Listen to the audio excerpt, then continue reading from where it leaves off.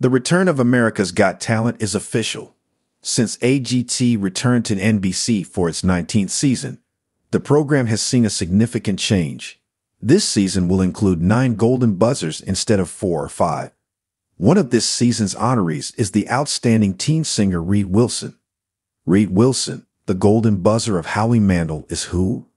Reid Wilson, like many of the competitors, became viral on AGT before his time. Late in 2023, Reid sang Aretha Franklin's Ain't No Way on TikTok, going viral. Reid was invited to appear on American Idol by Jennifer Hudson after the brief video gained a lot of attention.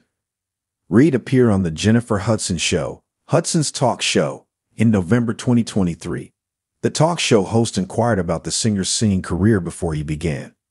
He remarked, I've been singing since I was really little, but I didn't have any control when I was a little kid, even though I had all the power that I have now.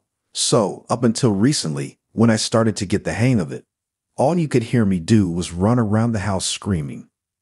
Hudson then questioned Reid about his source of power. In response, Reid said that his brother Riley Tate Wilson, a standout from The Voice Season 24, had a voice coach.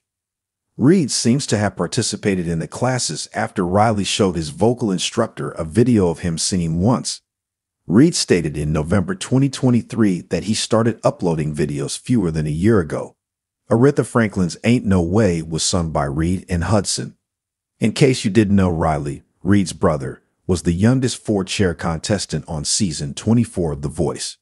Riley and Team Niall advanced all the way to the semifinals.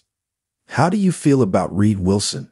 Do you believe that he will succeed in the competition? Tell us in the comments section below.